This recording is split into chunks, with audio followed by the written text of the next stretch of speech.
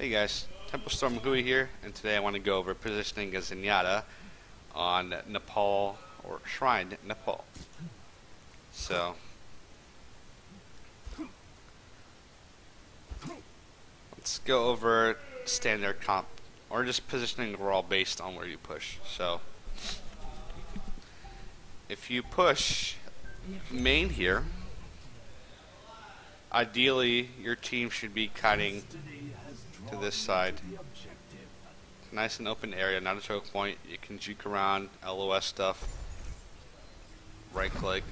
And you have a health pack to back up and juke into if you're getting aggressed on. So. I am taking the objective. So ideally you go left. Your team would rotate around this pillar to the left.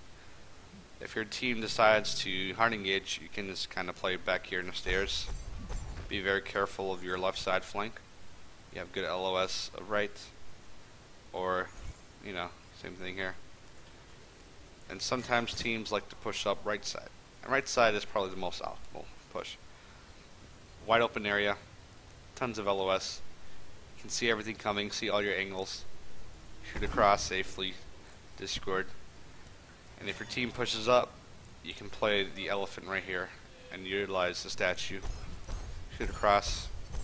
If you get aggressed on, if you're low, just drop down the health pack, pick it up. Either come back up their side if your team is positioned here, or come back up your side if you guys are like backing up a little bit. So that's it for standard pushes. If you have dive comp, normally going up point here in a choke isn't the most optimal thing no no actual health packs really close to you. So if you're playing dive with dive as in and against dive, you want to start out here. Come out the right side. If they're looking for an early engage, you can bait yourself and then come back into the health pack. Your goal as Zenyatta against dive is to accept that you will die, and your goal is to live as long as possible to keep them from peeling back and helping their backline. So you just want to bait them and waste as much time, um, as, as much of their time as possible. So again, early engage. If they see you, you can back up into here. Let's say they're walking onto point or they're playing a little bit passive. You can walk up these stairs here, and then if you get engaged on, drop down, play around this health pack and then juke around, survive, get peeled for, etc. And then that's oh yeah, just left side. There's a far left push. Normally you don't go far left with dive, but again, there's health back here, so this isn't the worst type of push possible. Pretty open too. Play around here. Your team dives. Your backline stays together. Once you get dove, peel back to this health pack and keep fragging them. And that's pretty much it. Standard push, same thing. You can just play back here, shoot across, play health pack if you get dove. And then when you hold point,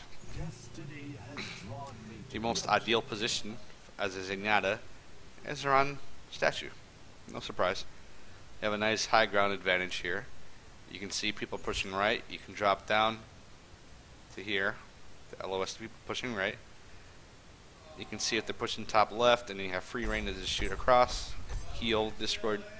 And if you get dove, you can just drop down the health pack and try to survive. So, pretty simple stuff, really. This point is not many flanks and stuff, really. So,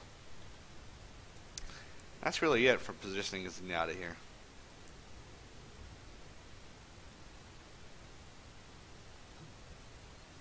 So yeah. Sorry.